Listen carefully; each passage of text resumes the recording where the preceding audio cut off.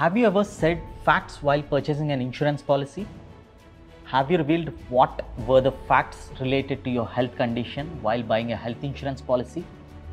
Why are these facts to be revealed at the time of purchase of a health insurance? What if you hide the facts? World's first insurance digital library by Team Madover Insurance. Simplifying insurance by professionals. This is Ram and you're watching Madover Insurance. We got a client whose claim was rejected recently due to a non disclosure of facts at the time of policy purchase. Why is this non disclosure of facts? The client purchased a policy in 2018 from an health insurance company. There was a claim in 2021 related to COVID, which was paid by the insurance company. But in 2023, the same client admitted in a hospital related to a kidney surgery.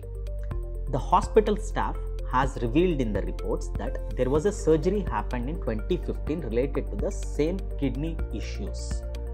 The insurance company rejected the claim and also they have denied the policy and cancelled the policy. Why is this? The client wants to file a case against the insurance company and he approached us. After checking the details from the insurance company, we got to know that while purchasing this policy in 2018, the insurance company asked client whether do you have any kind of pre-existing diseases or fractures or surgeries happened in your past.